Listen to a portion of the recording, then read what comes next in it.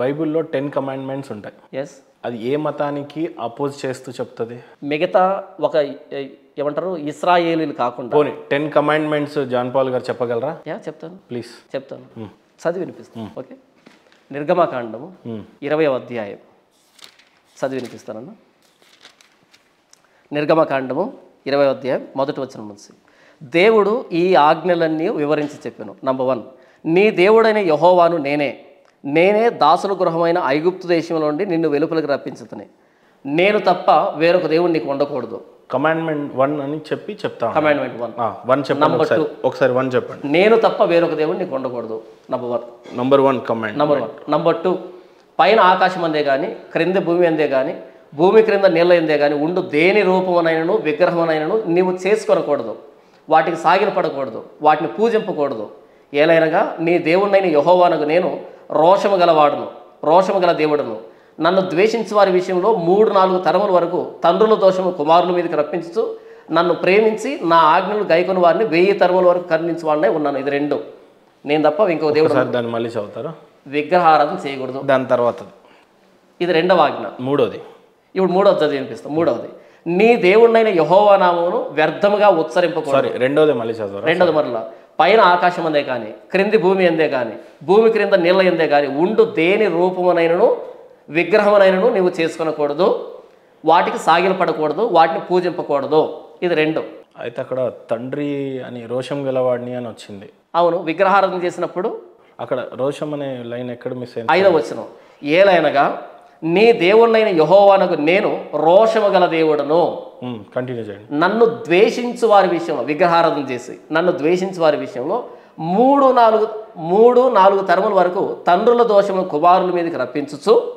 అంటే ఇందాక ఒక నిమిషం మీరు ఏమన్నారంటే మీ తండ్రి చేసినటువంటి తప్పులు ఏవి మీకు వర్తించవు అన్నారు. ఇప్పుడు కూడా చెప్తాను వర్తించు ఇప్పుడు ఆ- ఆ లైన్కి అర్థం ఏంటి? దీనికి అర్థం ఏంటంటే మూడు తరాలను. వినండి చెప్తానన్న చెప్తానన్న. నేను మిమ్మల్ని ఐగుప్తు దేశం తీసుకొచ్చాను నంబర్ వన్ నేను తప్ప ఇంకో దేవుడు ఉండకూడదు. నన్ను విడిచిపెట్టి మీరు విగ్రహాన్ని చేసుకున్నప్పుడు. అంటే కేవలం వాళ్ళకి సంబంధించినటువంటిగా చెప్తున్నట్టు కనపడతా ఉంది. ఐగుప్తు దేశానికి తీసుకొచ్చింది ఎవరు వారినే విడిపించాడు కాబట్టి వారితోనే చెబుతున్నాడు. ఇజ్రాయెల్ ప్రజల్ని ఐగుప్తు దేశానికి తీసుకొచ్చాడు. ఐగుప్తు నుంచి ఇజ్రాయెల్ తీసుకొచ్చాడు. ఇప్పుడు ఐగుప్తు నుంచి ఇజ్రాయెల్కి వచ్చినటువంటి ఏదైతే జనం ఉందో అవును. కేవలం వీళ్ళను మాత్రమే అంటే ఎంతసేపు ఇజ్రాయెల్ ఈ చుట్టే తిరుగుతుంది? ఆ బుక్ ఐ మీన్ బైబుల్ని నేను ఈ రోజు బట్ బైబుల్ ఎటు చూసినా ఇజ్రాయెల్ ఈ చుట్టుపక్కలనే తిరుగుతుంది కదా. Bible old test and new testament రెండు ఉంటాయన్న. ఇది ఓల్డ్ టెస్టమెంట్ ఓల్డ్ టెస్టమెంట్ అనేది ఇస్రాయేలుని కేంద్రంగానే తిరుగుతుంది. న్యూ టెస్టమెంట్ అన్నది సర్వలోకానికి సర్వ సృష్టికి పంపించాడు. ఓల్డ్ టెస్టిమోనియల్ అనేది రాసిన బట్టి వ్యక్తులు ఎవరు? ఇక్కడ మోషే రాస్తున్నాడు ధర్మశాస్త్రాన్ని. మిగిలినటువంటి ఆ గ్రంథాలని ఆ ప్రవక్తల పేర్లతోనే ఓల్డ్ టెస్టిమోన్ రాసింది ఎవరు? ఒక్కరు కాదు.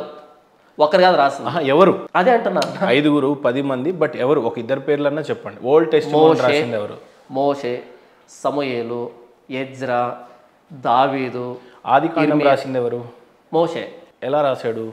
ఎలా రాశాడంటే ఎలా? ఏంటది? దేవుడి యొక్క జ్ఞానాన్ని పొందుకొని చెబితే రాశాడు. చెబితే రాశాడు. సో మానవుడు అనేవాడు అవును. ఆది కాండంని రాయింప రాశాడు. దేవుని చేత ప్రేరేప ఆది కాండాన్ని అయితే రాసింది మోసే కదన్న? అవును. మోసెస్ రాస్తున్నప్పుడు ఓకే. దేవుడు మాట్లాడా లేదా అనే ప్రామాణికంగా మీకు తెలియదు సైంటిఫిక్ రీజన్ నెంబర్ వన్ మీరు తర్వాత చెప్పండి. మోజెస్ రాస్తున్నాడు ఆది కాండంలో. దేవుడు ఈ భూమిని ఎట్లా సృష్టించాడు? మనుషుల్ని ఎట్లా సృష్టించాడు? జీవులను జలాశయాలను ఎట్లా సృష్టించాడు అని మోజెస్ రాస్తున్నాడు. అవును. చూపిస్తున్నది ఎవరు? దేవుడు చూపిస్తున్నాడు మోజెస్ రాస్తున్నాడు. అవును. దేవుడు చూపించాడని మీరు ఎలా నమ్ముతారు? మోజెస్ రాసినటువంటి ప్రతి వాకు నిజమని చెప్పి మీరు ఎలా నమ్ముతారు? ఈ వాకులన్నీ నిజమైనవి అని ప్రాముఖ్యంగా తీసుకొని. దాన్నే ప్రమాణం అని అనుకొని మీరెట్లా బోధిస్తున్నారంటే ఏం చెప్తారు? అక్కడ రాసిన ప్రతి మాట దాన్ని తప్పుగా నాకు ఎక్కడ కనిపించలే. ప్రతి మాట మీకు ఏ ఆధారాలు ఉన్నాయి? మోజెస్ దేవుడు చూపిస్తేనే రాశాడు అనే ఆధారం ఏముంది? ఎందుకో చెప్తాను ఒక్క ఉదాహరణ చెప్తాను. రామాయణంని రాసింది వాల్మీకి. ఒక్క ఉదాహరణ చెప్తాను. నాకు రామాయణం వద్దు. ఒక్క ఉదాహరణ చెప్తాను. ఆది ఎందు దేవుడు భూమి ఆకాశం సృజించెను. ఎవరు రాస్తాడు ఈ వాడు? మోషే రాస్తున్నాడు. ఎలా రాశాడు? చెప్తాను వినండి. మోషే రాశాడు. అది నిజమని ఎలా నమ్ముతున్నావు అని అంటే బిగ్ బ్యాంగ్ థియరీ ఒకటి వచ్చింది. బిగ్ బ్యాంగ్ థియరీ ఏం చెప్తుందంటే ఈ యూనివర్స్కి బిగినింగ్ ఉంది. బిగినింగ్ ఉంది. ఇది ఎటర్నల్ కాదు ఇది బిగినింగ్ ఉంది అని చెప్పింది. ఇరవై ఇరవై వేల సంవత్సరాలు ఉన్న చరిత్ర ఇతిహాసాన్ని పక్కన పెట్టి ఒక్కటి. ఒక మోజేస్ రాసిన థీరీని మాత్రం నిజం అనుకుంటున్నారు మీరు అక్కడికే వస్తున్నా నేను. నన్ను చెప్పనివ్వండి మీరు ప్రశ్నించారు కదా.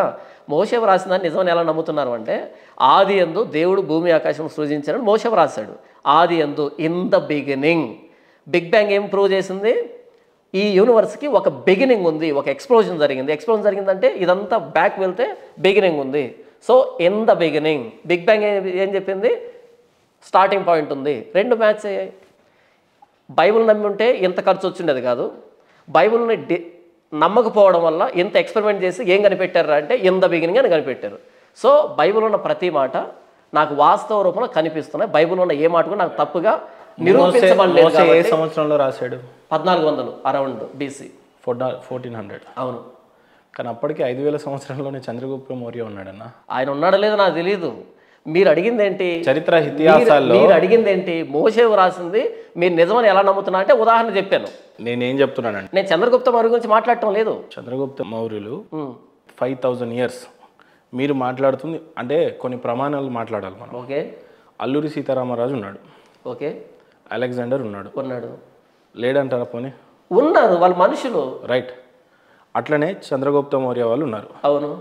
కాలమాన పరిస్థితుల్లో ఇప్పుడు సపోజ్ ఎన్టీ రామారావు టైంలో ఆ సంబంధించిన ఒక సీఎం పేరు చెప్పాలి అని అంటే ఆ కాలం నాటి వాళ్ళు అని చెప్తాం. అవును. ఓ పివి నరసింహారావు లేకపోతే ఇంకొక పేరు మీరు చెప్తా ఉంటారు. అవును. అల్లూరి సీతారామరాజు టైంలో పలానా వాళ్ళు అని అంటారు. అవును. లేదు స్వామి వివేకానందల వారు ఉన్నారు. ఒక two hundred years back hundred years back ఆయన తల్లి ఇది ఇది అని చెప్పుకుంటూ వస్తాం. ఓకే. చంద్రగుప్త మౌర్య వారు five hundred five thousand years back ఉన్నప్పుడు ఆ తర్వాత ఆయన సంతతి వచ్చిందని ఫైవ్ థౌజండ్ ఇయర్స్ బ్యాక్ ఇంత క్లియర్ హిస్టరీ మీకు ఇస్తుంటే మీరు నమ్మట్లేదు. నేనెందుకు నమ్మట్లేదు? సరే మీరు నమ్ముతారు History నమ్మరు నా ఇష్టం మీకు చదివాను, సంబంధం exams లేదు అంటారు రాశాను మంచి మార్కులు తెచ్చుకున్నాను. వినండి. I believe in history fourteen hundred బీసీలో అంటే మీకు నా నా గురించి అర్థం కావట్లే. I believe in history okay అవి చదివాను నమ్ముతున్నా బట్ మిథాలజీని నమ్మట్లేదు పురాణాలు నమ్మట్లేదు మోజేస్కి. ఫోర్టీన్ హండ్రెడ్ ఇయర్స్ నమ్ముతున్నాను. లేదు మోజేస్ అనే వ్యక్తికి ఫోర్టీన్ హండ్రెడ్ ఇయర్స్ బీసీలో దేవుడు కనిపించి నేనే నీ దేవుడు అని భూమిని సృష్టించాను అని ఎప్పుడు చెప్తున్నాడు? Fourteen hundred BC. అంటే గట్టికి కొడితే రెండు వేల సంవత్సరాల క్రితం కూడా కాదు. ఐదు వేల సంవత్సరాల నాటికి అందనే సివిలైజేషన్ జరిగిపోయింది. వినండి. ఇండస్ వ్యాలీ సివిలైజేషన్ ఎప్పుడండి? వినండి రోమిలా తేపర్ అనే హిస్టోరియన్ ఉంది. ఆవిడ నుంచే మన హిస్టరీ అంతా వచ్చింది. ఓకేనా? ఆవిడ Limca book of the award కూడా నామినేట్ అయింది. చాలాసార్లు సమ్ పొలిటికల్ రీజన్తో తనకి ఇవ్వలేదు. వరల్డ్ బుక్ రికార్డ్స్ అంత పెద్దదేం కూడా కాదు. గిన్నిస్ వరల్డ్ బుక్ రికార్డ్ కనీసం దానికి కూడా పొలిటికల్ రీజన్ తోటి పక్కన పెట్టారు. ఇది నా మ్యాటర్ ఓకేనా? తను ఏం చెప్తుందంటే ఇంట్రడక్షన్లోనే origin of India early India అనే దాంట్లో ఏం చెప్తుందంటే మిషనరీస్ ఇండియాకు వచ్చేంత వరకు భారతీయులకి చరిత్ర రాసుకోవాలనే విషయం కూడా తెలియదు అని చెప్తుంది. ఇండో ఆరియన్స్ గురించి తెలుసా మీకు? తెలుసు. ఏ సంవత్సరంలో వచ్చారు ఇండియాకి? ఎగ్జాక్ట్గా ఏది గుర్తులేదు seven hundred years BC back వచ్చారు. Okay seven hundred years back వచ్చారు. ఓకే ఇండో ఆరియన్స్ ఓకే వాళ్ళు ఏ కమ్యూనిటీకి చెందిన వాళ్ళు? ముస్లిం కమ్యూనిటీకి చెందిన వాళ్ళు. ఏమో. Chandragupta Maurya five thousand years నేను మీకు అప్పటి నుంచి మాట్లాడుతున్నాను ఎందుకంటే ఓకే జెరూసలేం ఉన్నప్పుడు సోలోమన్ కట్టాడు. ఓకే ఆ తర్వాత యేసుప్రభుల వారు వచ్చారు. ఓకే ఆయనను చంపడానికి యూదుల రాజుటువంటి హేరో హేరోదు. ఆయనను వెంటబడ్డాడు. ఇదంతా ఉంది ఇదంతా టూ హండ్రెడ్ ఇయర్స్ బ్యాక్ జరిగింది కదా. సెవెన్ థౌజండ్ ఇయర్స్ బ్యాక్ జరుగుతున్న ఇండస్ వ్యాలీ కానీ ఈజిప్ట్ యొక్క చరిత్ర కానీ హరప్ప మోహన్జోదరో కానీ మీరు మిస్ అయ్యారు. వీళ్ళ గురించి ఒక పక్క ఆహా మీరు చెప్తుందేంటి ఒక నాగరికత వచ్చిన తర్వాత ఏడు వందల సంవత్సరాల క్రితం నాగరికత వచ్చింది నేను చెప్పాలనేది వినండి. జాన్ పాల్ గారు కొట్టండి. చూడండి. ఏంటి కొట్టండి? చూడండి. ఫస్ట్ సివిలైజేషన్ కొట్టండి. నేను కొడితే నేను కొట్టిందే వస్తుంది అంటారు మరి. మీరు మెసపటోవియన్ సివిలైజేషన్ అది ఎక్కడొచ్చింది ఎక్కడ? మెసోపేటోనియన్ వచ్చింది టెన్ థౌసండ్ ఇయర్స్ బ్యాక్ మరి మీ చరిత్ర వచ్చింది ఫస్ట్ సివిలైజేషన్ మెసపటోవియన్ సివిలైజేషన్ అదే ఏదేం తోట ఏదేం తోట చుట్టూ తిరిగింది. తర్వాత ఈజిప్టియన్ సివిలైజేషన్ తర్వాత వచ్చింది ఇండస్ సివిలైజేషన్ లేదా ఇండస్ ఇండస్ వ్యాలీ సివిలైజేషన్ ఒప్పుకుంటారా? అవును. మెసోపేటోనియన్ ఎప్పుడు వచ్చింది? Three thousand years back okay BC okay how many years old Indus valley civilisation ఎన్ని ఇయర్స్ బ్యాక్ ఏందన్న Indus valley civilisation is at at least eight thousand years old according to evidence uncovered by scientist from double IT Kharagpur Mesopotamian అనేది మీరు చెప్పింది ఎప్పుడుదో తెలుసా అండి? Wait wait wait wait అది మన. Three thousand years back ఆ టైంలో ఉన్నది కూడా తీసుకోండి తీసుకొని మన ఓల్డ్ ఓల్డెస్ట్ సివిలైజేషన్ కొట్టండి ఓల్డెస్ట్ సివిలైజేషన్ అండి కొట్టండి ఓల్డెస్ట్ సివిలైజేషన్ కొట్టండి మీరు చెప్పిందే వస్తుంది? త్రీ థౌజండ్ ఇయర్స్ బ్యాకే ఓల్డెస్ట్ సివిలైజేషన్. మీరు అనండి అక్కడ? ఓల్డ్ ఓల్డెస్ట్ సివిలైజేషన్ కొట్టండి మీకు ఇందాకన్నా నేను ఈజిప్ట్ అని. అట్ట కాదు. కానీ అది three thousand years back okay ఓకేనా అంటే ఓల్డెస్ట్ సివిలైజేషన్ త్రీ థౌజండ్ కానీ రీసెంట్గా వచ్చిన మాత్రం ఎయిట్ థౌజండ్ ఏమన్నా లాజిక్ ఉందా? అది రీసెంట్గా వచ్చింది కాదండి. మీకు అక్కడ థేరీలో ఎర్లీ హ్యూమన్? సివిలైజేషన్ నేను ఏమన్నాను నేను ఏమన్నాను ఓల్డెస్ట్ సివిలైజేషన్ కొట్టండి అని చెప్పాను నేను చెప్తా. Oldest civilisation in the world Mesopotamian వచ్చింది కదా? మరి మెసపటోమియా మూడు వేలు కొత్తగా వచ్చింది ఎనిమిది వేలు. లేదండి లేదండి. ఇట్ లాజికల్ లేదు లేదు. గూగుల్లో మెస్పెటోనియన్ గురించి రాస్తున్నప్పుడు ఓకే. అక్కడున్న ఎస్సీఓ ఏదైతే వస్తుందో అది టాప్ తీసుకొస్తుంది. అది కాదు. ఇప్పుడు సపోజ్ నేను ఏమంటాను? ఇండియాకి క్యాపిటల్ సిటీ ఢిల్లీకి బదులు హైదరాబాద్ ఇది ఇచ్చిందంటే అది నిజం కాదు. బికాస్ అది మీకు తెలుసు కాబట్టి. ఓకే. అది ఇండియన్ వ్యాలీ సివిలైజేషన్ లేదు మీరు చెప్పింది కూడా నిజం కాదు అప్పుడు. మీకు త్రీ థౌజండ్ ఇక్కడ చూపించినప్పుడు అక్కడ నేను ఎయిట్ థౌజండ్ చూపించాను. ఇప్పుడు అది నిజమా ఇది నిజమా అనేది కాదు నేను అంటుంది. ఓకే. మీరన్న ప్రామాణికంగాలో పద్నాలుగు వందల సంవత్సరాల బీసీ బ్యాక్ సైడ్ రాసినటువంటి బైబిల్లో ఒక పర్సన్ని అంతగా నమ్ముతున్నప్పుడు ఓకే. మనకు ఆల్రెడీ సివిలైజేషన్ వచ్చేసింది అప్పటికి. అప్పటికి మీరు బుక్కులు ఏవైతే ఇప్పుడు మోసెస్కి రాయటం వచ్చిందంటే చదువు వచ్చిందనే కదా. ఖచ్చితంగా దాంట్లో ఏ లాంగ్వేజ్లో రాశాడు ఆయన అప్పుడు? హెబ్రి. హెబ్రిలో రాశాడు. అవును. అప్పటికి సాంస్క్రిట్ ఎన్ని సంవత్సరాలు ఓల్డ్ చదవండి? నాకు తెలియదమ్మా how many years old Sanskrit language five thousand years old Sanskrit language okay which is the oldest language అనుకోండి which is the oldest language ఇవన్నీ two hundred year two thousand years అండి. కాదు ఏమొచ్చింది చదవండి. నేను చెప్తాను వినండి. ఒక- నిమిషం. చదవండి. సుమెరియన్ అనే ఒక లాంగ్వేజ్. అది two thousand nine hundred years okay. BC అంటే సాంస్క్రిట్ కాదు కదా? Sanskrit five thousand years BC అండి. అంటే ఓల్డ్ ఏమో తక్కువ వయసు ఉంటది. మీకు నాకు జాన్ పాల్ గారు నాకు చాలా అనుకున్నాను నేను మిమ్మల్ని. ఏది ముందు వస్తుందో అది ఏది వెనకొస్తే కాదండి. కాదు. ఓల్డెస్ట్ లాంగ్వేజ్ లేదండి. ఇండియాకి స్వాతంత్ర్యం ఎప్పుడు వచ్చింది నైన్టీన్ ఫార్టీ సెవెన్లో కాకుండా నైన్టీన్ ఫార్టీ నైన్ అని ఏదో వెబ్సైట్ చూపించేస్తుంది. నేను నమ్మను. కదా? నేను నమ్మను. నేను మీకు వ్యక్తిగతంగా ఈ లాంగ్వేజ్ ఎన్ని ఇయర్స్ ఈ ఈ సాంస్క్రిట్ ఎన్ని ఇయర్స్ అంటే అది నిజమని నమ్మండి అని నేను ఫోర్స్ చేయట్లే. మీకు నేను థీసిస్ చూపిస్తున్నా కారణం ఏంటి? ఇది ఇన్ని ఇయర్స్ ఓల్డ్ జాన్ పాల్ గారు. ఇది ఇన్ని ఇయర్స్ ఓల్డ్. ఇది మీరు టాలీ చేసుకోవాల్సిందని అంటున్నా. ఓకే. కానీ గూగుల్ అదే ఫస్ట్ చూపించింది కానీ అది ప్రాముఖ్యంగా తీసుకుంటాను అని అక్కడ మీరు చెప్పిన ఫార్ములా నేను ఉపయోగించాను. అది ఫార్ములా కాదు. మీరు చెప్పిన మెథడే నేను ఫాలో అయ్యాను. నేను మెథడ్ అనట్లేదు. సాంస్క్రిట్ అనేది ఫైవ్ థౌసండ్ ఇయర్స్ ఓల్డ్ ఉంది. ఓకే ఒకటి. Take it for granted what is the point here point ఏంటంటే బైబుల్ని హిబ్రి భాషలో రాయడానికి ఓకే. హిబ్రూ నేర్చుకుంది ఎవరు? నేర్చుకున్నది ఏంటి? దేవుడు ఇచ్చిన లాంగ్వేజ్ రైట్ మోసెస్ అప్పటికి హిబ్రూలో రాయాలి కాబట్టి దేవుడు ఇయ్యలే. హిబ్రూ అనేది సేమ్ ఎవ్రీ లాంగ్వేజ్ దేవిన ప్రతి లాంగ్వేజ్ దేవుడు దేవనగరి లిపి లాగానే ప్రతిదీ దేవుడు. ఒక నాగరికత అనేది ఉంది. నా విషయం ఏంటంటే సాంస్క్రిట్ అనేది ఒక ఏడు వేల సంవత్సరాల క్రితం ఐదు వేల సంవత్సరాల నుంచి డెవలప్ అయింది. అంటే అప్పటికి సివిలైజేషన్ అనేది డెవలప్ అయిపోయింది. ఇప్పుడు మనం డెమోక్రసీ అంటున్నాం కదా. అప్పుడు ఈ సివిలైజేషన్స్లలో ఎట్లాంటి అడ్మినిస్ట్రేషన్ ఉండేవి? మనుషులు ఎలా నివసించేవాళ్ళు ఎలా జీవించేవాళ్ళు అన్నది జరిగిపోతా ఉంది ఒక సైడ్ నుంచి. అంటే ఇక్కడ జరిగిపోతున్న క్రమంలో ఇప్పుడు నేనేమంటానంటే ఇప్పుడు పోని మీకు అర్థమయ్యే భాషలో చెప్తా. నా చరిత్ర మొత్తం చెప్పితే కాదు. Twenty thousand years ten thousand years back side Konark ఆలయం చరిత్ర చెప్తుంటే అది కాదు చరిత్ర అంటున్నారు. నేను ఎప్పుడు అన్నాను సరే అదే చరిత్ర నిజం అన్నప్పుడు హిస్టరీ ఇప్పుడు ఫోర్టీన్ హండ్రెడ్ బీసీలో వచ్చినటువంటి బైబుల్ని నమ్ముతున్నారు కానీ క్లియర్ అన్నా. పోనీ ఇప్పుడు నేను ఒక్క క్వశ్చన్ అడుగుతా మీరు చెప్పండి.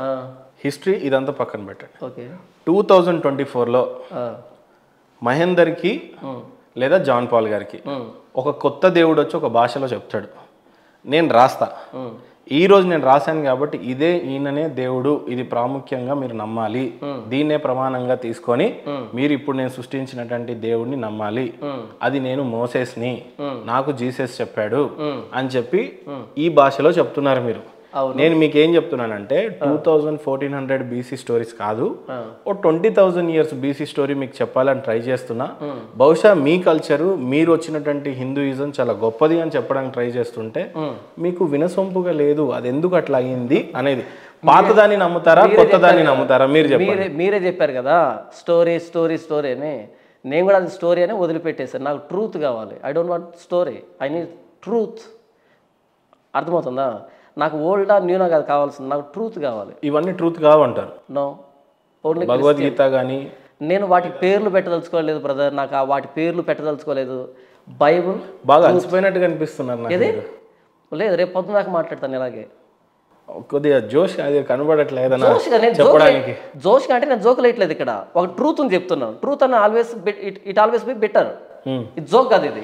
మీరు బిటర్ అయ్యేటట్టుగా ఏం చెప్పట్లేదు కదా మాకు. అంటే ఆ ట్రూత్ మీకు మింగుడు పడట్లేదు కదా. ఏం మింగుడు పడట్లేదు నాకు? ఇక్కడ నేను జోక్ మీరు రెండు వేల సంవత్సరాల క్రితం వచ్చినటువంటి బైబిల్ గురించి నాకు మింగుడు పడదా? ఇక్కడ మనం కామెడీ షో చేయట్లేదు. సో ఆ జోష్ ఉండదు నాకు. ట్రూత్ అని చెప్పేటప్పుడు ఆ భారం ఉంటుంది ఖచ్చితంగా. ఓకేనా? సో ఇక్కడ నేను నవ్వినంత మాత్రానో నవ్వకపోయినంత మాత్రానో నా సత్యం అన్న సత్యం కాకుండా పోదు. I believe in Bible Bible మాత్రమే దేవుని వాక్కు.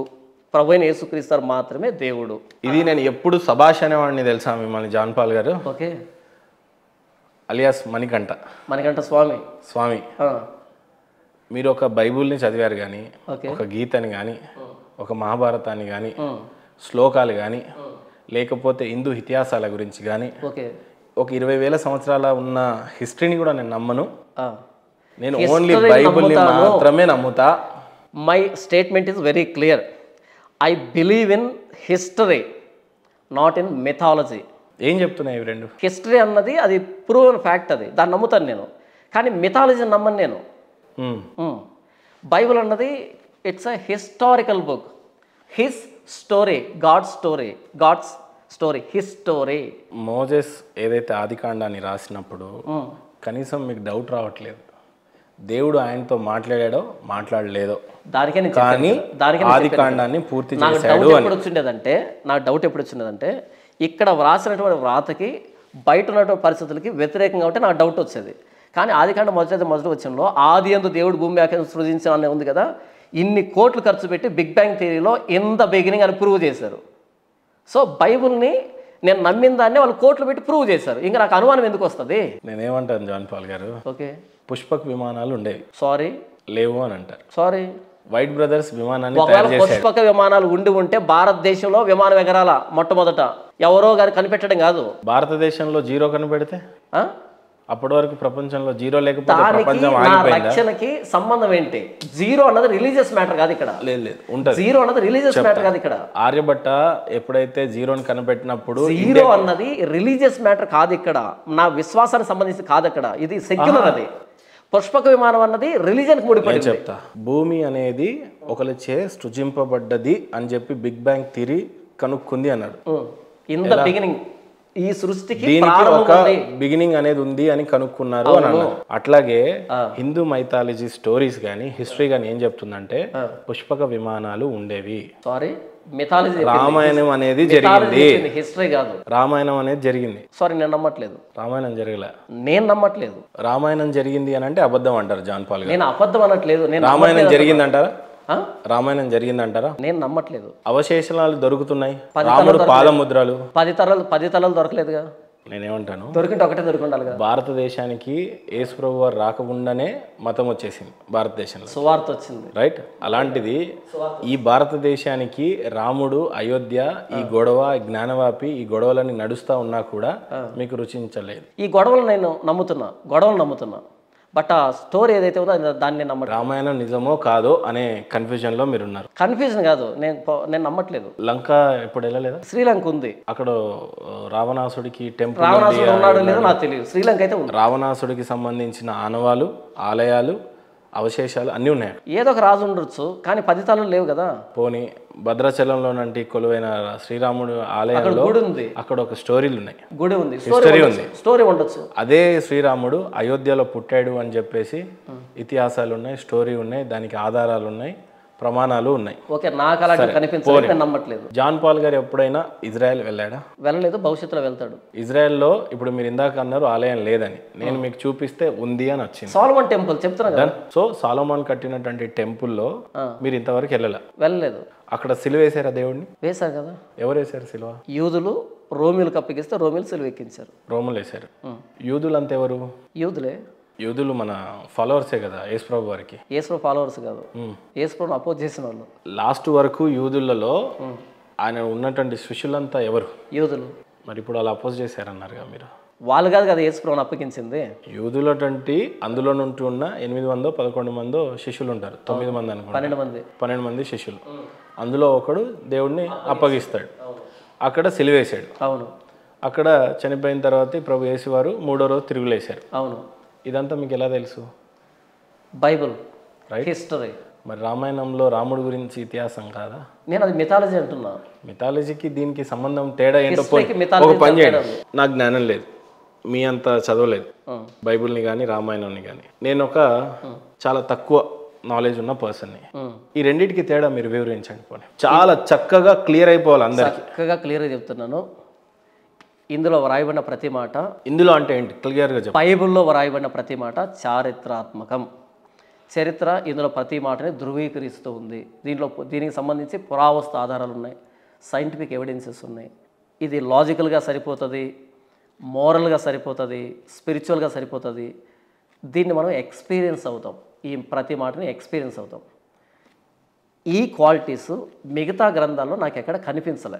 మీరు చదవకుండానే అంటున్నారు ఆ మాటని గమనించాలా మీరు? పాయింట్ అవి నన్ను అట్రాక్ట్ చేయలేదని చెప్తున్నాను కదా ఇది చదవకుండా రామాయణమే చదవలేదు రామాయణం గురించి మీరు ఏం మాట్లాడాలో మీకు అర్థం కావట్లేదు. అంతకుముందు నేను దీన్ని కూడా చదవలే. అంతకుముందు నేను దీన్ని కూడా చదవలే కానీ ఇది జాన్ పాల్ గారు నేను ఒకటి చెప్తున్నా. ఆథర్? ఆథర్ రచయ రచన రాసేవాడు రచయితగా ఎలాగైతే మారతాడో అది ఎలా రాస్తాడు? మంచి మంచి స్టోరీస్కి లోన్ అయిన తర్వాత ఆయనలో ఒక రైటర్ పుడతాడు. ఓకే మీరు ఒక మంచి రీడర్ రీడర్ ఎప్పుడు అనిపించుకోవాలా మీరు? మంచి స్టోరీస్ చదివినప్పుడు ఇది అవును. ఒక బైబిల్ మాత్రమే చదివేసి దాన్నే ప్రామాణికంగా తీసుకుంటే ఎట్లా అండి ఓకే మీరు రామాయణాన్ని అయితే చదవలేదు. మీరు చెప్పింది పుస్తకాలకు సరిపోతుంది. హ్యూమన్ ఆథర్ ఉన్నప్పుడు సరిపోతుంది. ఇది డివైన్ ఆథర్ నేనేమంటున్నా మీరు భగవద్గీతని చదివారా? నేను చదవలేదు. రామాయణాన్ని చదివారా? చదవలేదు చదవను కూడా. మహాభారతాన్ని చదివారా? చదవలేదు చదవను కూడా. చదవాలని లేదు. మరి ఇప్పుడు ఇంకా ఏంది మీ బాధ? నా బాధ ఏంటంటే ఈ సత్యం ప్రపంచానికి తెలియాలి. అందులో ఉన్న సత్యం ఎవరికి కావాలి మరి? ఏమో అది నన్ను ఆకర్షించలే. చదవకుండా ఎట్లా ఆకర్షిస్తుంది అంటే మళ్ళీ అదే ఒప్పుకోవట్లేదు నేను చదవలేదు. అందులోనే- చదువుతాను చదివిన తర్వాత ఒకవేళ ఆకర్షింపబడితే అవి చదవనటువంటి స్థితిలో ఉన్నటువంటి నేను దీన్ని కూడా చదవలే. కానీ ఈ బైబిల్ నన్ను ఆకర్షించింది. జాన్ పాల్ గారు ఒకటి క్లియర్గా చెప్పండి మీరు బైబిల్ చదివారు? చదివాను. రామాయణం చదవలేదు. చదవలేదు. భగవద్గీతను చదవలేదు. మహాభారతం చదవలేదు. వేదాలు చదవలే. రైట్? చదవలేదు. ఇతిహాసాలు ఏమీ చదవలేదు. ఏం ఎక్సెప్ట్ బైబిల్ కనీసం ఇవన్నీ చదివి ఇంకో ఇంటర్వ్యూలో కూర్చుంటారా పోని? ఓపిక లేదన్న. బైబిల్ గురించి వంద ఇంటర్వ్యూలు చేస్తా కానీ బైబిల్ బయట ఇంకో ఇంటర్వ్యూ కూడా చేయను. మీరు పుట్టినటువంటి హిందూయిజంలో పుట్టి నేను హిందూయిజంలో పుట్టలేదన్నా. మీ నాన్న హిందూయిజము నేను హిందూయిజంలో పుట్టలేదు. నేను పుట్టిన తర్వాత మా నాన్న అంటే ఈ హిందూయిజంలో ఉన్నాడని తెలిసింది. నేను హిందూయిజంలో పుట్టలేదు. మీ నాన్న హిందువుగా ఉన్నప్పుడు మీరు పుట్టారు కదా. అంటే అన్న మీ నాన్న అయ్యప్ప స్వామి మాలేసాడు ఆయనేమి పురాణాలు ఇతిహాసాలు చదివేమి హిందూ కాలే నాకేమనిపించింది తప్పుగా అనుకోవద్దు. అయ్యప్ప స్వామి మాలేసాడు మీ నాన్నగారు కానీ మీ చేతిలో రామాయణం పెట్టి ఉంటే మీరు ఖచ్చితంగా హిందూజాన్నే స్వీకరించే వాళ్ళని నా ఆలోచన. దానికే చెప్పాను. నేను వంద పుస్తకాలు చదివినా ఆ పుస్తకంలో ప్రాణం లేనప్పుడు అది నన్ను ఆకర్షించదు. శ్రీ మహావిష్ణువు గారి పదావతారాల ఐడియా ఉందండి అసలు నాకు తెలియదన్నా. యేసుప్రభు వారు కూడా ఒకే అవతారం ఎత్తాడు. మూడో రోజు తిరిగి వస్తాను ఆయన చెప్పి ఆయన ఒకే అవతారం ఎత్తిన ఎక్కడో జెరూసలేము నుంచి భారతదేశానికి స్వార్థ పంపించి నా ఇంటి గడప దగ్గర స్వార్థ పంపించి నా చెవిలో వినిపించి నా కఠిన హృదయాన్ని మార్చి మీరు ఒక విషయం వింటున్నారా.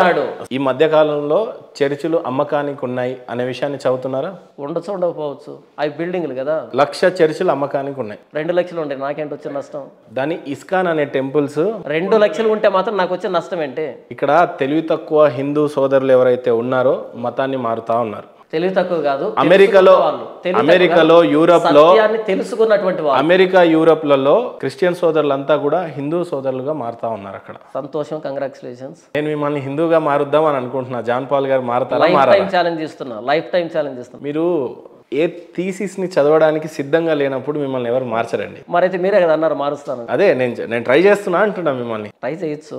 పోనీ నన్ను హిందువు నుండి క్రిస్టియన్గా మార్చడానికి మీరు ఎలాంటి బోధనలు చేస్తారు? ఇప్పుడు చేసేది ఇప్పుడు ఇప్పటి వరకు మాట్లాడింది చేయండి ఇప్పుడు నేను అంటున్నా బోధన మిమ్మల్ని మార్చడం నా ఉద్దేశం కాదు. ఈ సత్యాన్ని ప్రకటించడం మాత్రమే నా ఉద్దేశం. ఏసు ప్రభు అంటే సర్వలోకానికి వెళ్ళి సర్వసృష్టికి వెళ్ళి సువార్త ప్రకటించండి. నమ్మి బాప్తీసం పొందిన రక్షించబడతాడు రమ్మని వానికి శిక్ష విధించబడతా అని చెప్పాడు. అంతేగాని గడ్డం పట్టుకుని బ్రతిమలాడండి బలవంతంగా మార్చండి అని ఏసుకోవడం అతను చెప్పలేదు. ప్రకటించమని చెప్పి నేను ప్రకటిస్తున్నాను. అందులో సత్యం ఉందని మీకు అర్థమైనప్పుడు మారు మనసు పశ్చాత్తాపం ద్వారా బాప్తీసం ద్వారా ప్రభు యేసుక్రీస్తు సొంత రక్షకుడు అంగీకరిస్తే మీరు రక్షించబడతారు లేకపోతే శిక్షలోకి వెళ్తారు. అంతే. బంగ్లాదేశ్లో క్రిస్టియానిటీ ఎందుకు పెరగలేదంటే ఏం చెప్తారు? నాకు తెలియదు రానివ్వలేదు మిమ్మల్ని. తెలియదు తెలియదు ఉత్తరప్రదేశ్లో క్రిస్టియానిటీ. మత ప్రచారం అనేది బ్యాన్ చేశారు. బయటికి చేసి ఉండొచ్చు. ఇంటర్నెట్ ద్వారా వెళ్తుంది కదా. ఏ రకంగా కూడా ఇప్పుడు భౌతికంగా వెళ్ళాల్సిన అక్కర్లేదు. ఆ రోజులు పోయాయి. ఇంటర్నెట్ ద్వారా వాళ్ళ బెడ్రూమ్లోకి వెళ్తుంది సువార్త. నేనేమంటున్నానంటే అండి ఒక వెల్ ఎడ్యుకేటెడ్ సోదరుడు. ఎప్పుడు కూడా క్రిస్టియానిటీని ఎక్కువగా స్వీకరించలేదు. వెల్ ఎడ్యుకేటెడ్ బ్యాక్వర్డ్ కమ్యూనిటీలో వెల్ ఎడ్యుకేటెడ్ కాదు. అంత ఆలోచన లేనటువంటి వ్యక్తి క్రిస్టియానిటీ అంగీకరించలేడు లేదు లేదు. నేనేం చెప్తున్నానంటే మీరు కూడా హిందూయిజాన్ని వదిలేసి క్రిస్టియానిటీ ఎందుకు పుచ్చుకున్నారో తెలుసా? నేను హిందూయిజాన్ని వదిలిపెట్టలే. మీరు పుట్టిందు హిందూ మతంలోనే. నేను క్రిస్టియానిటీ ఎందుకు పుచ్చుకున్నారో తెలుసా? వినండి వినండి వినండి. జాన్ పాల్ గారు హిందూయిజాన్ని వదిలిపెట్టలేదు. ఒక విషయం నేను నా చెప్పనిస్తారా? పాప జీవితాన్ని విడిచిపెట్టాను. నేను ఒక విషయం క్లియర్గా చెప్తా జాన్ పాల్ గారు మణికంఠ స్వామి అని మీ పేరు. మీరు హిందూయిజాన్ని వదిలేసి క్రిస్టియానిటీ ఎందుకు పుచ్చుకున్నారో నేను చెప్తా. పాప జీవితాన్ని మీ క్రిస్టియానిటీకి ఇచ్చినంత ప్రయారిటీ బైబుల్ని చదివిన ప్రయారిటీ. హిందూయిజంలో ఉన్నటువంటి ఏ బుక్స్కి కూడా మీ బ్రెయిన్ అలౌ చేయలేదు మీరు చదవలేదు. మీరు కూడా నిమిత్త మాత్రులుగానే ఉన్నారు కాబట్టి మీరు మతం మారిపోయారు. నిజంగానే మీరు కూడా ఇతిహాసాలు పురాణాలు చదువుంటే మీరు మతం మారేవాళ్ళు కాదండి. వంద సార్లు చెప్తున్నాను నేను మతం మారలేదు నా పాప జీవితాన్ని విడిచి ఒకవేళ ఎవరైతే భగవద్గీతను చదివిన వాళ్ళు ఉన్నారో పురాణాలు చదివిన వాళ్ళు ఉన్నారో వాళ్ళని మీరు ఇంచ్ కూడా అందులో మత మార్పిడి చేయలేరు. దీన్ని మీరేమంటారు? నేను అసలు చేస్తున్నది మత ప్రచారమే కాదు. మీరే మతం మారిపోయిన తర్వాత ఇంకా నేను హిందూయిజంలో నేను పుట్టలేదు అన్నాక పాప జీవితాన్ని- ఎవరు ఒప్పుకుంటారు? నేను పాప జీవితాన్ని విడిచిపెట్టి ప్రభు యేసుక్రీస్తు సొంత రక్షకుడు అంగీకరించాను తప్ప మతం మారలేదు నేను ఇక్కడ. ఎవరిని మతం మార్చడానికి లేదు. అసలు క్రిస్టియానిటీ మతమే కాదు. ఇది నిజదేవుని చేరుకునే ఏకైక మార్గం ఇది. ఇది మతం కాదు. సో నేను పాప జీవితాన్ని విడిచిపెట్టాను. హిందూయిజాన్ని కాదు. నేను యేసు ప్రభుని నా సొంత రక్షకుడుగా తెలుసుకున్నాను. మతాన్ని స్వీకరించలే. నేను ఇంకో ఇంకో వ్యక్తిని మతం మార్చడానికి ఇక్కడ లేను. రాధా యేసు మనోహర్ ప్రభు- దాస్ గారిని మీరు ప్రేమిస్తున్నారా? రాధా మనోహర్ దాస్ ప్రేమిస్తున్నాను కాబట్టి సువార్త చెప్తున్నాను. ఆయన మీద మీకు ఏ ద్వేషం లేదు. ఏ ద్వేషం లేదు ఆయన నా పక్కింటోడు కూడా కాదు. ఆర్థిక లావాదేవీలు లేవు- మా మధ్య. ఆయన మీలాంటి ఇంకో వ్యక్తి లాంటి సాధారణమైన వ్యక్తి. ఆయన కూడా సువార్త చెప్పాలన్నది నా ఆలోచన. నమ్మితే రక్షణ పొందుతాడు నమ్మకపోతే నరకానికి వెళ్తాడు బైబిల్ చెప్పింది. వేరే నరకానికి పోతారని మీరే చెప్పేస్తున్నారు బైబిల్ చెప్పింది మార్క్స్ వార్త పదైదో అధ్యాయం పదైదో పదహారో అధ్యాయం పదైదు వచ్చిన పదహారు వచ్చిన ఆయన. హిందూ ధర్మ రక్షణ ప్రకారంగా. యమధర్మరాజు మిమ్మల్ని కూడా శిక్షిస్తాడు మరి. ఓకే మీరు నమ్మండి. మీ దేవుణ్ణి నమ్మకపోతే మీరు నమ్మండి. బాప్తీసం తీసుకోకపోతే మీరు నమ్మండి. మీరు అది అంటున్నా నేను. మీరు నమ్మండి. ఒక లోకం యమలోకం యమపురి అని ఉందని తెలుసా? అసలు నేను నమ్మట్లేదు కదా. నేను పానీపూరిని తింటాను కానీ యమపూరి నమ్మట్లేదు కదా. యమపురి అనేది ఒకటి ఉంది. నాకు పానీపూరి తెలుసు. స్వర్గం అనేది ఉంది. లే నేను పానీపూరినైనా సీరియస్ తీసుకుంటాను? లేదు నేను అట్లా అవహేళన చేయలేదు. అవ- అవహేళన కాదన్నా నేను ఇప్పటికి పది సార్లు చెప్పాను అంటే ఎన్నోసార్లు చెప్పాను నేను నమ్మట్లేదన్నా అంటే మరలా దాన్ని నా మీద రుద్దుతున్నారు మీరు. మరి ఉంది కదా అంటున్నా. నాకు తెలియదు. మీరు తెలీదు మీకు నేర్ నేర్పియాలని నేను ప్రయత్నిస్తున్నా. లేదన్నా నేను బైబిల్ తప్ప దేన్ని నమ్మను. అంటే ఇందులో సత్యం నాకు కడుపు నిండిపోయిందన్న. ఇందులో ఏదైనా ఒక అనుమానం నాకు క్రియేట్ చేయగలిగి మీకు వాల్మీకి తెలుసా? వాల్మీకి తెలుసా? తెలియదన్న వాల్మీకి తెలియదు తెలీదు. రామాయణం రాసింది ఎవరు? వాల్మీకి. తెలుసు. ఇప్పుడు గుర్తొచ్చాడు. మహాభారతాన్ని రాసింది ఎవరు? వ్యాసుడా? భగవద్గీతను రాసింది ఎవరు? ఐడియా లేదన్న. వ్యాసుడే రాశాడు. వ్యాసుడా రాశాడా? మహాభారతంలో గీత అనేది ఒక పద్దెనిమిదో అధ్యాయం నుంచి ఇరవై అధ్యాయం వరకు అది అక్కడ. మాత్రం గుర్తొచ్చింది. దేవుడు చెప్ బోధిస్తాడు అనమాట గీతను. సేమ్ బైబిల్లో కూడా బైబిల్ మిగతా వాటికి పోలిక లేదు సేమ్ కాదు. మోజెస్ అప్ సైడ్ డౌన్ బైబిల్కి మిగతా వాటికి పోలిక లేదు. మోజేస్ ఆదికాండం రాసింది అట్లానే కదండి. దేవుడు చెప్పాడు. ఇక్కడ ఉపదేశించేది కూడా అదే కదా? నేను నమ్మట్లేదు. మీరు చదవలేదని చెప్పండి. నేను చదివాను కాబట్టి పద్దెనిమిది అధ్యాయం నుంచి ఇరవై అధ్యాయం వరకు మహాభారతంలో ఏం రాశాడో కూడా చెప్పండి. ఏది? ఏమన్నా కనీసం ప్రాముఖ్యంగా ఏమన్నా ఉంటే సారీ నేను దాన్ని నమ్మట్లేదు దాన్ని నేను చెప్పదలుచుకోవట్లేదు. బైబిల్ గురించి అడగండి రేపు పొద్దున్న దాకా చెప్తాను ఉమ్, ఉం. సరే. సరే నా మీతో ఒక మాట చెప్తున్నాను. అదేంటంటే ఒక విషయం చెప్తాను వినండి. చెప్పండి.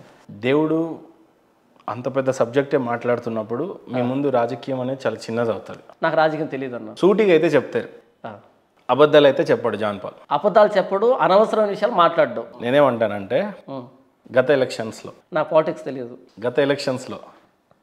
మీరు ఓటు ఎవరికి వేశారో మీకు తెలుసు. తెలుసు. కానీ ఓటు ఎవరికి వేశారు అని చెప్పటము క్రైమే అడగటము క్రైమే అవును. కానీ మీరు ఏ పార్టీకి మద్దతు ఇచ్చారు అంటే ఏం చెప్తారు? నిజం చెప్పాలి. దేవుణ్ణి నమ్ముకున్న బైబుల్ సాక్షిగా మీరు ఏ పార్టీని అయితే సపోర్ట్ చేశారో ఆ పార్టీ పేరు చెప్పాలి. అది చెప్పడమే కదా ఓటు ఎవరికి వేశారన్నది. అంటే ఓటు అడగడం వేయడం క్రైమ్ చెప్పినప్పుడు ఇప్పుడు ఇక్కడ మరలా ఎవరికి మద్దతు ఇస్తారండి అవును టీడీపీ వాడు వచ్చి కండువా వేసుకొని కూర్చుంటాడు నేను చంద్రబాబు నాయుడుకి సపోర్ట్ చేసిన అని చెప్తాడు. ఒకటి ఓటు అన్నది నా వ్యక్తిగతము. నాకు నేను ఓటు అనట్లా ఏ పార్టీకి మీరు సపోర్ట్ చేశారు?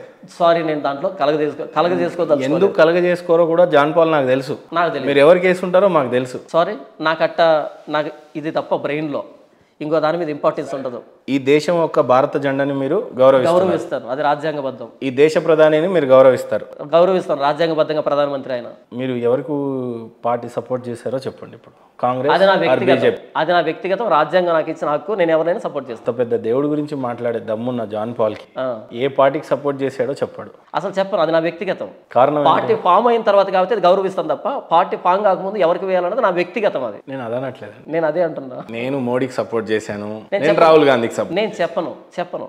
మీరు ఖచ్చితంగా వ్యక్తిగతం. నరేంద్ర మోడీ గారికి సపోర్ట్ చేయరండి చెప్పను నేను చెప్పను నా వ్యక్తిగతం అది. నరేంద్ర మోడీ గారికి సపోర్ట్ చేయలేదు మీరు. ఆయన మన భారత ప్రధాని గౌరవిస్తున్నా. సపోర్ట్ చేయరు.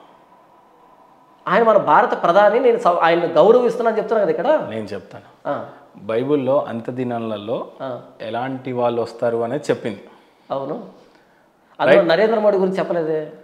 ఇంకేంటి? హిందూ మతం యూపీలో వస్తే బ్యాన్ అని చెప్పాడు. చూపించండి. అంత్య దినంలలో చెప్పండి. చూపించండి ఎక్కడ బైబిల్ మీకు వ్యతిరేకంగా పుట్టుకొస్తున్న శక్తుల్ని ఈ రకంగానే బోధిస్తున్నారు. నుంచి కాదు ఇప్పటి నుంచి కాదు ఎప్పటి నుంచో క్రైస్తవానికి ప్రతికూల పరిస్థితులే ఉన్నాయి. చివరికి యేసు పుట్టిన రెండు సంవత్సరాలకే హేరో ఆయన చంపడానికి ప్రయత్నం చేశాడు. క్రైస్తవానికి శ్రమలు హింసలు ప్రతికూల పరిస్థితులు కొత్త కాదు. అవి అంత బాగా రాశారు. ఆ? అంత బాగా రాశారు. సత్యం ఎప్పుడు అసత్యానికి నచ్చదు కదా. సత్యానికి అసత్యానికి ఎప్పుడు గొడవ ఉంటుంది. పిల్లికి ఎలకి ఎప్పుడు స్నేహం ఉండదు.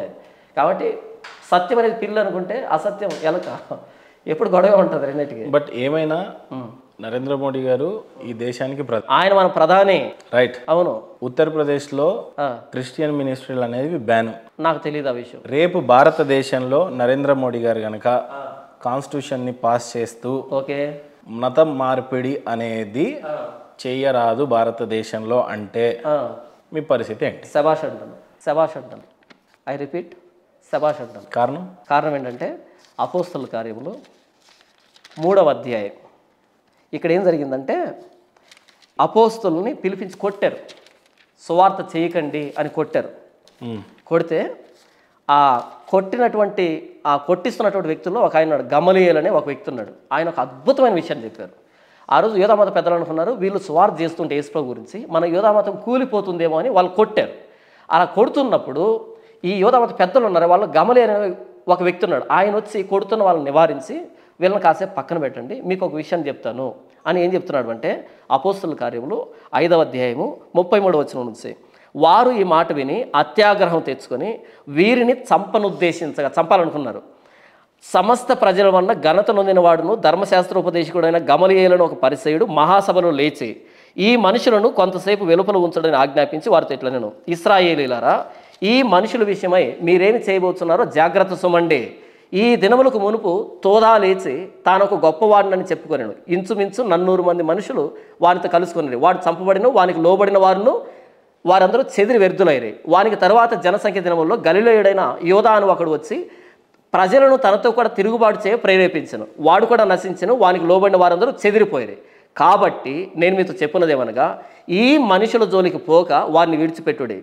ఈ ఆలోచన అయినను ఈ ఆలోచన అయినను ఈ కార్యమైనను మనుషుల వలన కలిగినదాయన అది వ్యర్థమగును. దేవుని వలన కలిగినదాయన మీరు వారిని వ్యర్థపరచలేరు. మీరు ఒకవేళ దేవునితో పోరాడు వారగుదురు సుమే అని చెప్పాడు. ఏమన్నాడు అంటే గమలియలు?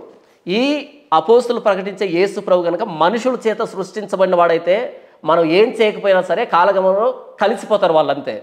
ఒకవేళ వాళ్ళు ప్రకటించే యేసు ప్రభు నిజంగా దేవుని వల్ల ప్రకటించబడుతున్న ఆయన దేవుడైతే కనుక మనుషులు దాన్ని వ్యర్థపరచలేరు అని చెప్పాడు. నేను దీన్ని నమ్ముతున్నా ఎంతమంది బ్యాన్ చేసినా ఎంతమంది శిక్షించినా క్రిస్టియానిటీ అన్నది ప్రభు యేసుక్రీస్తు నిజమైన దేవుడైతే అది విస్తరిస్తుంది. ఆయన దేవుడు కాకపోతే ఎవరు ప్రమోట్ చేసినా అది ప్రమోట్ కాదు. కాబట్టి బ్యాన్ చేయమని చెప్పండి అప్పుడు నా క్రిస్టియానిటీ ఎంత బలమైందో ఎంత దైవ ప్రేరేపితమో అప్పుడు తెలుస్తుంది. ఎలా ధైర్యంగా చెప్పగలుగుతున్నారు మీరు? ఇంతవరకు చదివినిపించిన నా ప్రభు అయిన యేసుక్రీస్తు పునరుద్ధానుడైన దేవుడు సజీవుడైన దేవుడు. మనుషులు పుట్టించింది కాదు సువార్త అంటే.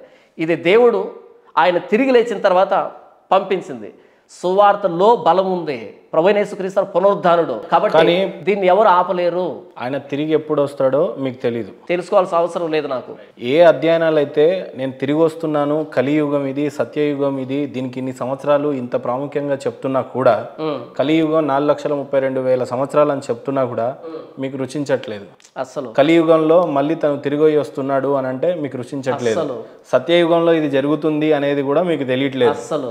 కానీ రెండు వేల సంవత్సరాల నుండి యేసు ప్రభు వారు వచ్చిన తర్వాత తిరిగి ఆయన మళ్ళీ మూడో రోజు తిరిగి వెళ్ళిన తర్వాత ఇంతవరకు కూడా ఇంతవరకు కూడా ఈవెన్ ఇప్పుడు ఇజ్రాయెల్ పోటీ పడుతుంది సారీ యుద్ధాలు జరుగుతున్నాయి కేవలం ఒక ప్రాంతం వల్లే. ఓకే? అదే ఇజ్రాయెల్లో ప్రతి వాక్యులో ప్రభు అయిన యేసు ప్రభు వారు కూడా అదే చెప్పాడు ఇజ్రాయెల్ ప్రజలారా పాలిస్తీన్ల మధ్య ఇజ్రాయెళ్ళ మధ్య జూయిష్ల మధ్యలో జరిగింది కానీ ఏది జరిగినా భారత ప్రజలని భారతదేశాన్ని ఎక్కడ కూడా లిఖితపూర్వకంగా కానీ భారతదేశం పేరు రాలేదు. ఈవెన్ దో భారతదేశం అనే పేరు రెండు వేల సంవత్సరాల క్రితం వచ్చినప్పటికీ. మీకు దాని గురించి ఇష్టం లేదు. అంటే దీనికి దానికి సంబంధం ఏంటి నాకు తెలియగడుగుతాను బైబిల్లో ఉన్న ప్రతి మాట నేను ఏమంటున్నానంటే మీరు పాతదైనటువంటి ఇవన్నీ వదిలేసి పాత కొత్త కాదు ఇక్కడ. భారతదేశం అయితే- కంటే అయితే పెద్దదా అండి ఇక్కడ ఒక ఇజ్రాయెల్? మాట చెప్తా వినండి. గోచి పెట్టుకోవడం పోనీ. ప్యాంట్ వేసుకోవడం కొత్తది. ఇప్పుడు గోచి పెట్టుకుందామా? భారతదేశంలో భారతదేశంలో. బైబిల్ ఎప్పుడు ఇంట్రడ్యూస్ అయింది? బైబిల్ మొట్టమొదటి ప్రింట్ చేయబడినప్పుడు ఎయిటీన్ ఎయిటీన్. భారతదేశంలో బైబుల్ ఫస్ట్ ఎక్కడ ఇంట్రడ్యూస్ అయింది? ఎప్పుడు? ఎయిటీన్ ఎయిటీన్లో తెలుగులో తర్జుమా చేయబడింది భారత అంటే అది రెండు వందల సంవత్సరాల క్రితం. నేను అదనట్లే. వినండి వినండి చెప్తాను. వినండి. యాభై రెండు క్రీస్తు శకంలో అపోస్తుడైన తోమ ఇండియాకి వచ్చాడు. యాభై రెండుకు ముందు పరిస్థితి ఏంటని అడుగుతున్నాను నేను. ధర్మశాస్త్రం ఉంది. కదా? ధర్మశాస్త్రం నేను జస్ట్ ఓల్డ్ టెస్ట్మెంట్ ఉంది. ఇదంతా టూ థౌజండ్ ఇయర్స్ బ్యాకే అవును. అవును. ఏడు వేల సంవత్సరాల క్రితం ఉన్న ఇతిహాసాన్ని మీరు మాట్లాడను అంటున్నారు. ఇప్పటికి నేను ఎన్నిసార్లు రిపీట్ చేశానన్నది ఎన్నిసార్లు చేయాలి ఇంకా? ఒకసారి అంటే బైబిల్ నిజమని నమ్ముతున్నాను నేను. బైబిల్ కాకుండా దేవుని వాక్యం ఇంకెక్కడా లేదని నమ్ముతున్నాను. ఇక ఎన్నిసార్లు రిపీట్ చేస్తే మాత్రం ఏముంది ఇందులో. నేను దీన్ని నిర్ధారణ చేసుకున్నాను. నా సరే జీవితం ఇప్పుడు మీ అనుభవం- దృష్టిలో నేను అన్యుణ్ణి. అవును. అవును. నాకు ప్రభు యేసు ప్రభు వారి మంచి మాటలు చెప్పాలి అంటే మీరేం చెప్ప? మంచి మాటలు కాదు సువార్త. సువార్త చెప్పాలంటే సువార్త చెప్పాలి? అంటే అన్న మహేందర్ అన్న మనమంతా పాపులమే. మనలో మంచితనం లేదు. మనం జన్మతాహ పాపులమే కర్మతాహ పాపులమే. ఇప్పుడు మరణించినా సరే నిత్య నాశనం మన కోసం ఎదురు చూస్తుంది. పాపులకి నిత్య నాశనమే అయితే ప్రభు అయిన యేసుక్రీస్తారు మీ పాపాల కోసం సిరిలో ప్రాణం పెట్టాడు. నా పాపాల కోసం సిరిలో ప్రాణం పెట్టాడు. నేను అంగీకరించాను ఆయన్ని. మీరు కూడా ఆయన సొంత రక్షకుడిగా అంగీకరించి మీ పాపాలు ఒప్పుకొని మారు మనసు పశ్చాత్తాపం ద్వారా బాప్తీసం తీసుకోండి. మిమ్మల్ని ప్రభు అయిన యేసుక్రీస్తారు తన రక్తంలో కడిగి ఉచితంగా నీతిమంతులుగా పరిశుద్ధులుగా చేస్తాడు. ఆయన రక్షణ అనుగ్రహిస్తాడు. ఎప్పుడు ఎక్కడ ఎలా మరణించినా సరే ప్రభు అయిన యేసుక్రీస్తుతో పాటు సదాకాలం ఆయన సన్నిధిలో ఉంటారు. మీరు ఇంత స్ట్రాంగ్గా ట్రైన్ అయినట్టు కనిపిస్తుంది జాన్ పాల్ గారు. కారణం ఏంటో చెప్తాను నేను. ఓకే. నేను ఫస్ట్ నుంచి లాస్ట్ వరకు మాట్లాడి బాధపడుతుంది ఏంటంటే ఓకే. మీకేం బాధ ఉందని అంటే మహేందర్కి బైబిల్ గురించి తెలియజేయాలి. అవును. ఈయన పాపంలో ఉన్నాడు. అవును. ఈయనకి బైబిల్ గురించి తెలీదు. ప్రభు అయిన యేసు ప్రభువుని నమ్మితే ఈయన పాపాలు కడుగబడతాయి. ఈయనకి బాప్తిసం ఇస్తే దేవుడి రాజ్యంలో చోటు ఉంటుంది ఎగ్జాక్ట్గా. రైట్? ఎగ్జాక్ట్గా. సేమ్ నా బాధ ఏముంటుందో తెలుసా? చెప్పండి. హిందూయిజం అనేది కాదు. హిందూయిజం అనేది పక్కన పెట్టండి. ఓకే పెట్టేశాను ఇప్పుడు డన్ పెట్టేశారు. పెట్టేశాను. బట్ నేనేమంటున్నానంటే మనకంటూ ఒక ధర్మం ఉండింది. నాకు లేదు. ధర్మం లేకుండా ఎట్లా మీకుంది ధర్మం నాకు సత్యం ఉంది. నేను మీకు విషయం చెప్తాను నేనండి. చెప్పండి అన్న. ప్రపంచంలోనే అతి పురాతనమైన మతం. గ్రంథం కూడా హిందూయిజంకి రిలేటెడ్ ఉంటుంది. మీరు గ్రంథం చదవండి. ఏమని చెప్పండి. గూగుల్లో సనాతన ధర్మం ఎన్ని వేల సంవత్సరాలతో చూడండి. నేను అంగీకరిస్తున్నా కదా. మంచి ధర్మాన్ని వదిలేసి. ఓల్డెస్ట్ రిలీజన్ నేను చెప్తున్నా కదా. నాకు రిలీజన్ వద్దు. నాకు ట్రూత్ కావాలి. ఒక సనాతన ధర్మంలో పుట్టినటువంటి మీరు సారీ ఒక హిందూయిజంలో పుట్టిన మీరు సారీ దేవుడు బిడ్డగా మారిన తర్వాత ఒక బొట్టు లేక ఆడవాళ్ళు సుమంగలిగా లేక నేను మీరు ఎట్లా బాధపడుతున్నారో బొట్టు పెట్టుకున్నంత సుమంగళం కాదు. సోనియా గాంధీ కూడా బొట్టు పెట్టుకుంటారు ఆడపిల్లలు కూడా చేతి నిండా గాజులు ఉండకుండా తెల్ల చీరలతో బొట్టు పెట్టుకున్న ప్రతి ఒక్కరు సుమంగళం కాదు. బట్ ఒక బాధ అనిపిస్తుందా మీకు ఎప్పుడైనా? మీకు ఎప్పుడైనా బాధ అనిపిస్తుందా? ఇప్పుడు దేవుడు ఉన్నాడో లేడో నిమిత్త మాత్రమైన మానవులంతా ఇలాంటి బాధపడుతూ ఇలాంటి డిబేట్లు చేసుకుంటూ ఎంతకాలం ఇదంతా నిజం అనేది ఒకటి తెలిస్తే బాగుండు అని మీకు ఎవడు అనిపించదు దేవుడు ఉన్నాడా లేడా అన్నది నా కలలో కలలో కలలో కూడా లేదు. దేవుడు ఉన్నాడు. ఆయన ప్రభు అయిన అయితే మానవుడు అనుభవిస్తున్న కష్టాలకి ఆ వ్యక్తి పాపం కారణం. దేవుడు ఉన్నాడా లేదా నా ప్రశ్నే కాదు అది. ఆ దేవుడు ప్రభు అయిన యేసుక్రీస్తారని ప్రకటించడమే నా జీవిత గమ్యం. దేవుడు లేకపోతే ఈ సృష్టి ఎలా వచ్చిందన్న? నరేంద్ర మోడీని కూడా మీరు క్రిస్టియన్గా మార్చేసేలా ఉన్నారే? ఎవరు? మీరు? ఆయన మారితే నన్ను ఏం చేయమంటావు? సంతోషిస్తాను. చిన్నజేరి స్వామిని కూడా మార్చేస్తారు. ఆయన మారితే నేనేం చేయలేను. బాప్తీసం ఇవ్వగలుగుతాను. చెప్పడం వరకే నా బాధ్యత. నేను మారుస్తానని నేను చెప్పట్లేదు కానీ చెబుతాను. మారు మనసు పొందితే లక్ష్యంగా బాప్తీసం కూడా ఇస్తాను. I will I will be glad. ప్రపంచం ప్రపంచంలో అత్యధిక జనాభా కలిగి ఉన్న కమ్యూనిటీ అది కమ్యూనిటీ అంటే క్రిస్టియానిటీ. ఏ మతం వాళ్ళు ఎక్కువ మతం కాదు. బట్ మీ గూగుల్ని అడిగితే అత్యధికంగా మతం కలిగి ఉన్న వాళ్ళు మనుషులు ఎవరు అంటే ఏం చెప్తుంది? ఏమో ఒకసారి అడగండి. ఏమో మీరు చెప్పండి ఫస్ట్ దాని గుడ్డిగా తర్వాత నేను ఆ సంఖ్యను తీసుకొని ఇంతకుముందు చెప్పలేదు లేదు సంఖ్యని కాదు. I don't believe in number number అత్యధికంగా ఉన్న వాళ్ళు నాకు తెలిసి అయితే ఇస్లామికే. నో ప్రాబ్లం ఒకసారి చూడండి. నాకు జస్ట్ చూడండి. వాళ్ళు ఉన్నా లేకపోయినా నాకు అనవసరం లేదు. I don't believe in numbers అన్నా. ఇక్కడ మీకు నాకు మనస్పర్ధాలు కాదు. జస్ట్ మనం సరదాగా అడుగుదాం. అడగండి ఒకసారి. దాంట్లో మీరు అడగండి. నేను టైప్ చేయడం లేట్ అవుతుంది మీరు అడగండి ఒకసారి. నేనేమంటున్నా అంటే నేను నంబర్ని పట్టించుకోను అన్న